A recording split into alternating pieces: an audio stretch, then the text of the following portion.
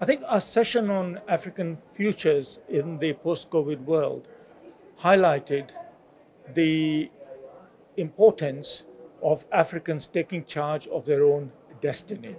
and their capabilities on the African continent, uh, human resources, uh, uh, scientific capabilities, as well as institutional capabilities, uh, let alone strong communities, that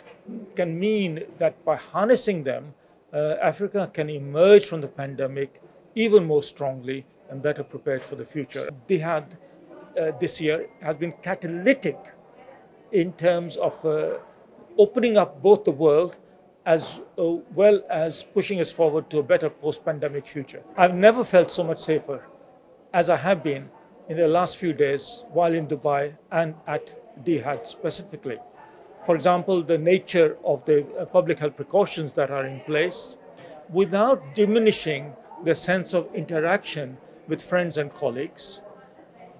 uh, has meant that one has been able to operate safely, fully, and engage passionately